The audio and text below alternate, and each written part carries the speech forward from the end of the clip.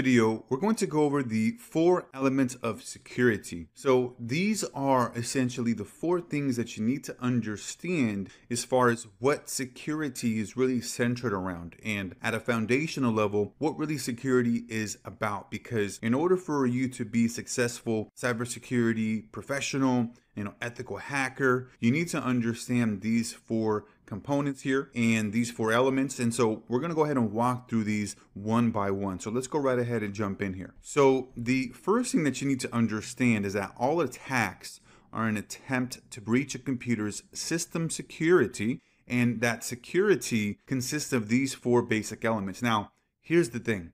A hacker's goal is always to exploit any type of vulnerabilities in a system or network to find a specific weakness in one of these four elements of security. That's why it's important to understand what these four are and the different types of attacks that are generally within these four elements. So let's go right ahead and go into the first one here.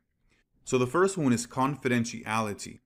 The second one's authenticity, and we're going to walk into these uh, in some detail here and some examples and then we have integrity, and then we have availability. So, for example, a denial of service, right? DOS attack. A hacker is attacking the availability elements of a system and network.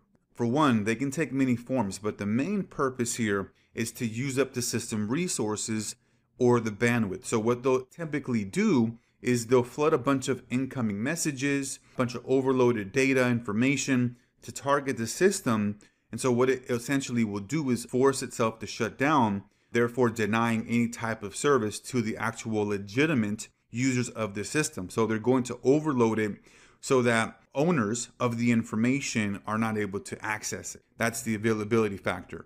And then stealing passwords or any other type of data is a confidentiality attack because it allows someone other than the actual recipient to gain access, right? Uh, they're hacking some type of network and they're looking to get information, uh, passwords, records, whatever that may be. That's on the confidentiality uh, aspect, right? In element. So, very important to understand the different types of attacks within these four elements. The next one here we have bit flipping, for example. These types of attacks are considered integrity attacks because the data may have been tampered with in transit or within the original system. So let's say somebody's using some sort of digital signature software uh, and they send some important document right to another recipient you know digital signature to be uh, made there an attacker can come in and they can actually modify the actual document and they can change up the numbers and so let's say that it's an invoice or some sort of promissory note they can go in there and change, you know, hey, $10 is what you owe us to $10,000 is what you actually owe us. That's how the information can be manipulated. It's that integrity type of element that is uh, the factor there. And then finally, here we have the MAC address spoofing, uh, which is an authentication attack because it allows an unauthorized device to connect to a network, such as one that is wireless, right? Because the MAC address is like an IP address, but it's for your local network and uh, essentially get authenticated and get access to your network, your router, whatever that may be, right?